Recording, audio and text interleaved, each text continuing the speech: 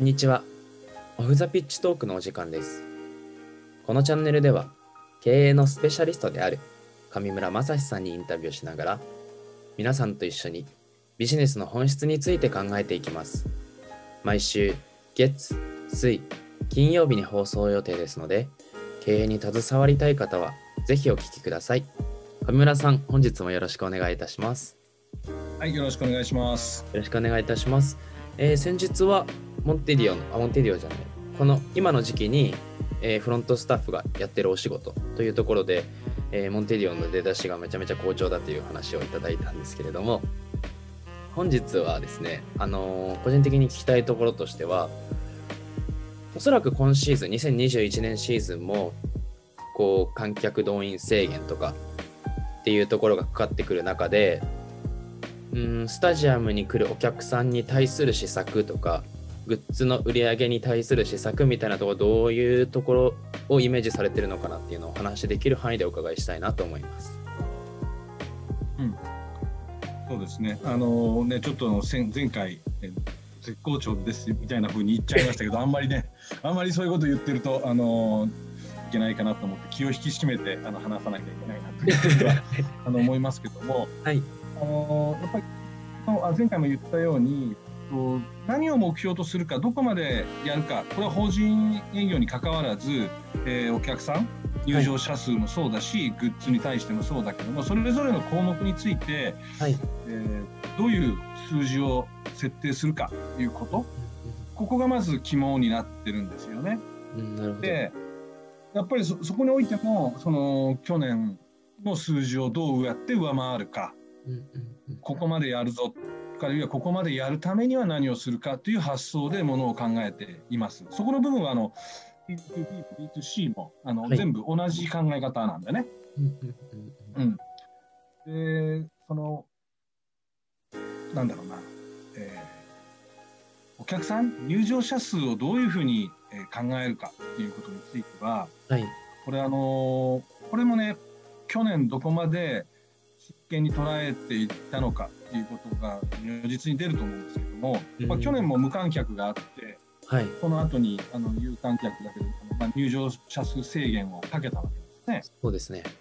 で入場者数制限をかけたその数字？はい。例えばスタジアムの50%とか5000人とかっていうような数字が出てたかと思いますけれどもそうですね。この数字になかなか到達しなかったんだよね去年は。ああ、確かにそうですね。なんか、うん、うん制限かけたのにみたいな。2019年、うん、そうそう2019年の数字ははい。例えば1万5000人とかうん1万7000人とか1万人とか、まあ、それぞれのクラブによって数字違いますけども、はい、入場者数があった。はい。で、えーそこに対して今度は5000人とかですね、まあ、8000人とかっていうような入場者数制限がかかった。だから20 2019年シーズンの平均入場者数よりも低い目標、低い数字で制限がかかったわけだから、うん本来で言えばその、そのかかった数字を楽にクリアしててもおかしくないんだよ。そうですよね。そのうん制限数は売り切れになってておかしくないっていうところです。おかしくない、おかしくない。ところが、その数字を言ってないんですね、どのクラブも。これなんでなんだろう。なぜ、なぜお客さんは来なかったのかということ？うーん、なるほど。うん。なぜ1万7千人入ってた人たちがはい。5千人ぐらいしか来なくなっちゃったのかなとうーんいうことなんですよね。なるほど。そこってなんなんでなんですかね？もうすぐ聞いちゃう。この、この、この分析をはい。どのように、どこまできっちりやってるか。ああ。これってあのあこんな理由もあったかもしれないね。例えばコロナが怖くて来れないよねとか、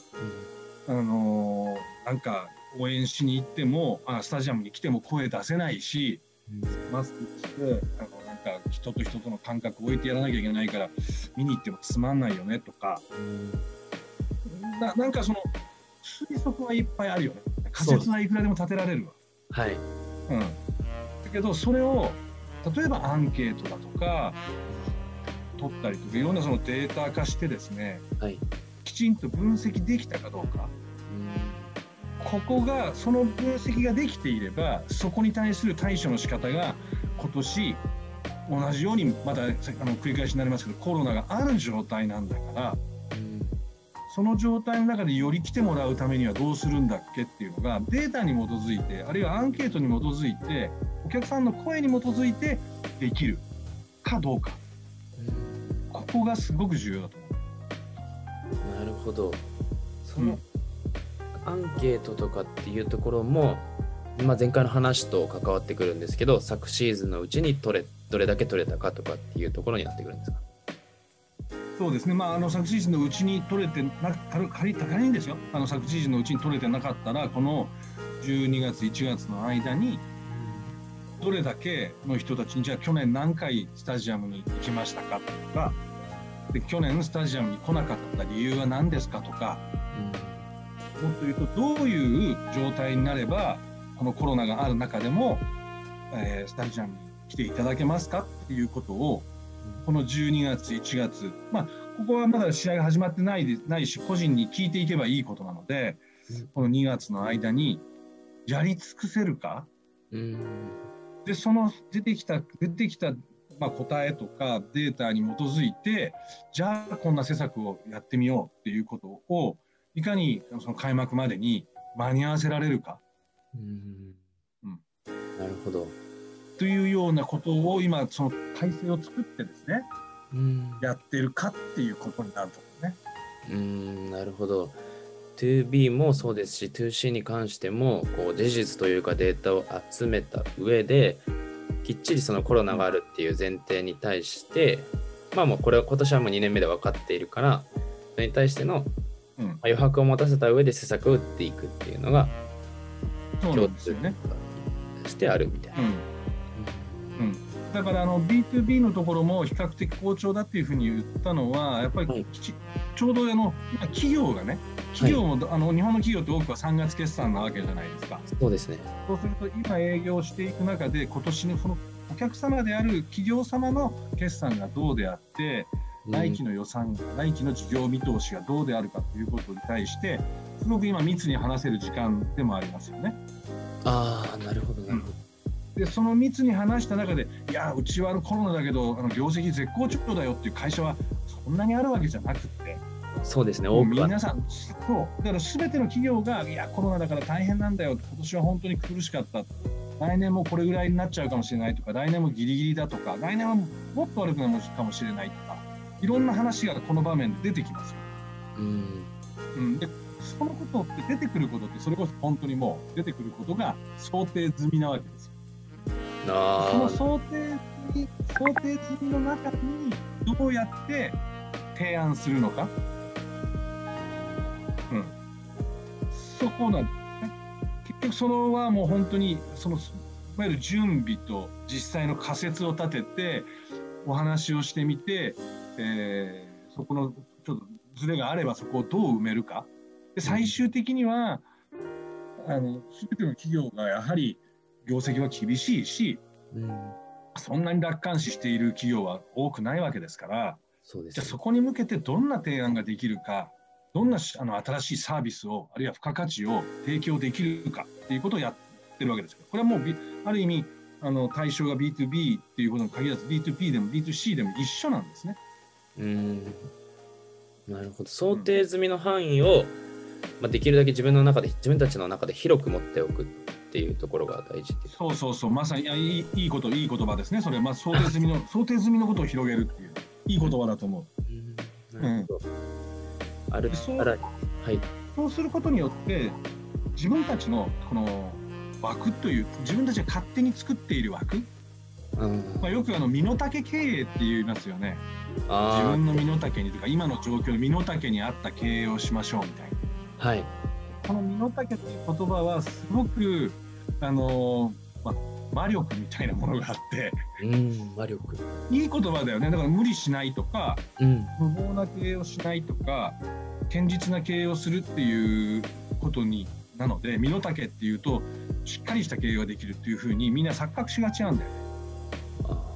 でも身の丈っていう言葉は逆に言うと自分の身の丈身のその背の高さをさ高めないっていうことになっちゃう。はい確かに今の高さで経営、うん、今の高さで経営しようって話になるじゃない？あ悪く言えばできることしかやらないみたいな。うんあその通りです。その通りです。で、できる範囲でやろうとか、うん。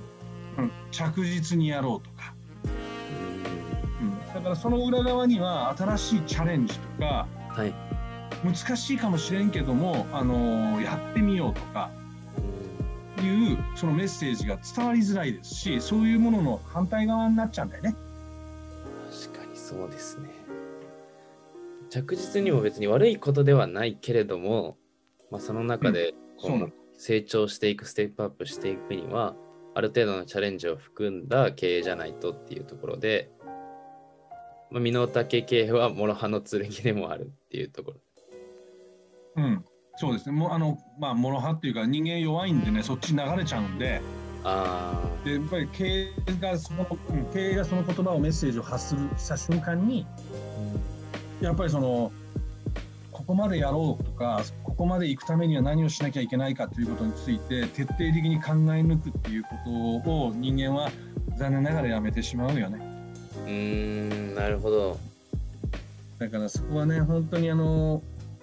無謀な経営するということをあの身の丈じゃなくてチャレンジするということははい。別に無謀なことをするわけじゃないのでそうですよね。はい。うん、そこはあの経営者のやっぱある種の意思とか、うん。まあ度量とか度胸とかいうようなものもすごく関係するかもしれませんね。なるほど。まあその昨シーズンあるいは今シーズンこれからの集めたデータっていうところをもとにどれだけ、